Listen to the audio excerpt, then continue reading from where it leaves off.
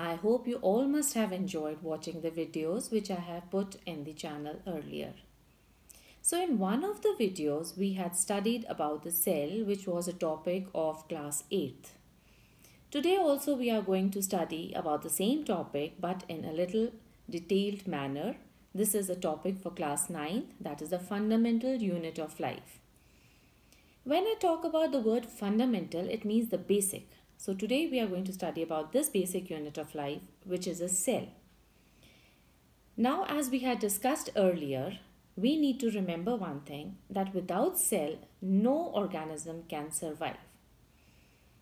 So the cell is the basic unit of structure, it is the basic unit of function and all cells they arise from pre-existing cells. These three sentences they form the cell theory which was given by M.J. Schleiden and Theodor Schwann in the year 1839. But who discovered the cell?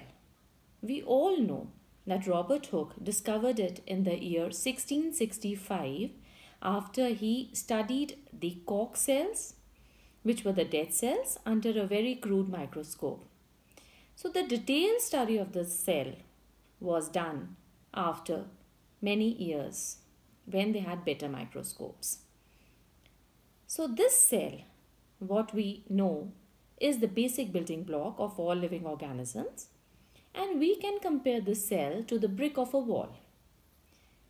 Now these cells which are same in the structure, which are same in the function, they are just put together, piled one on top of another as a group and they form what is known as a tissue. Just like a brick in the case of a house, which are the same bricks so they are the basic building blocks of a house. They are put together and they form what is known as a wall. So these cells which are grouped together and form a tissue can be compared to the wall of a house. Same way like the walls they make a room and the room makes a house. Same with the tissues they make an organ and the organs put together form the organ system and finally the organism.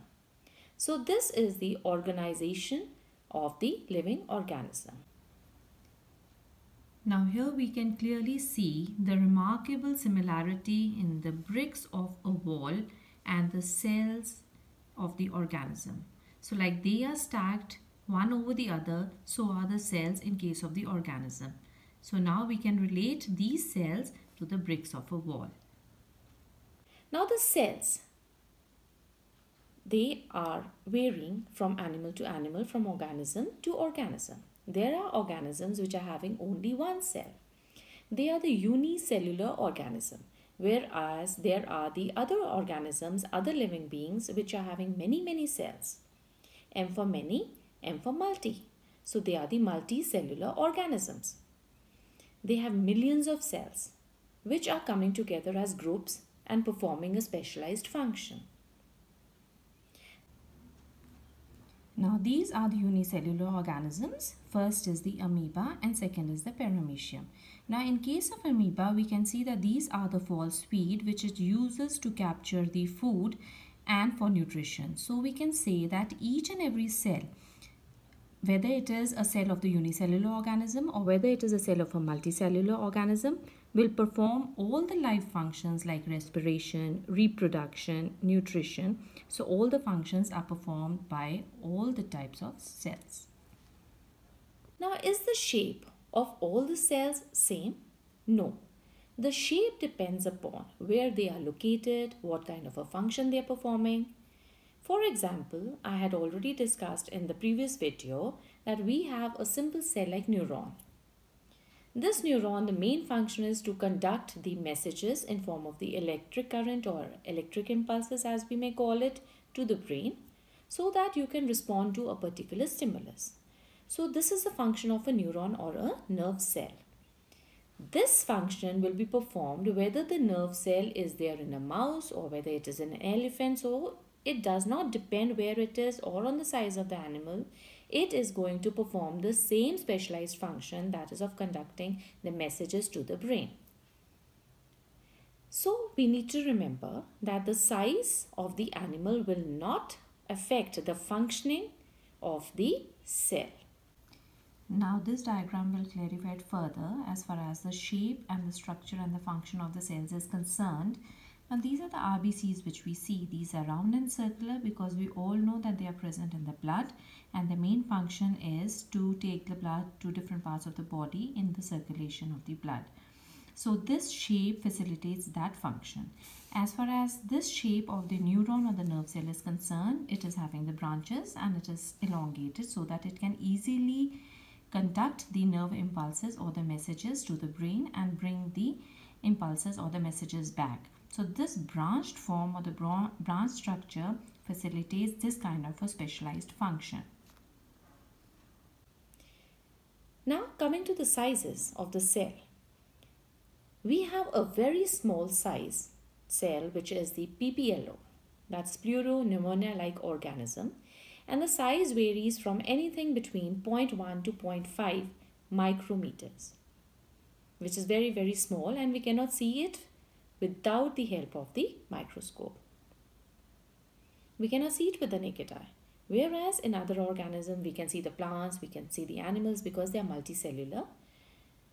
But a single cell, the largest single cell, smallest now we know is PPLO, which is the largest one we had studied and I hope you remember that it is the ostrich egg. And the size varies from 130 millimeter to 170 millimeter and we can easily see it with the help of our naked eyes. Now coming to the cell and what kind of the functions the organelles are performing, we need to remember one thing that the cells they vary slightly if they are present in the plants and if they are present in the case of the animals. In case of the plants, now we know that the plants they don't move, right? So there has to be something which is giving it the mechanical strength or the mechanical support. So what gives the strength and the support? That is the cell wall, which is the outermost layer in case of the plant cell. This cell wall is however missing in case of the animal cell because we all know that animals they keep moving from place to place and they have got higher metabolism.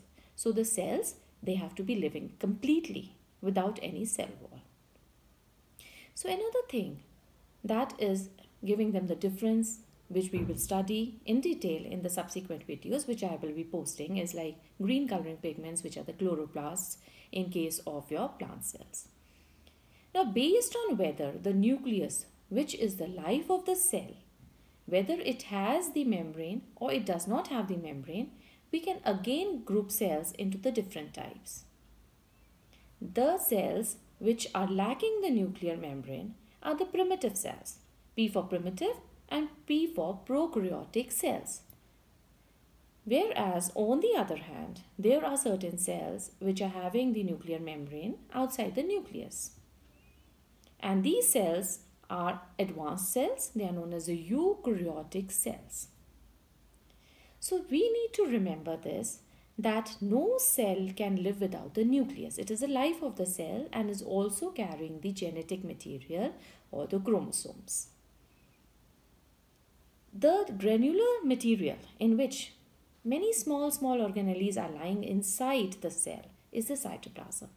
So the cytoplasm along with the nucleus forms what is known as the protoplasm. So we need to remember this and we will be studying about all these organelles in detail in our subsequent videos.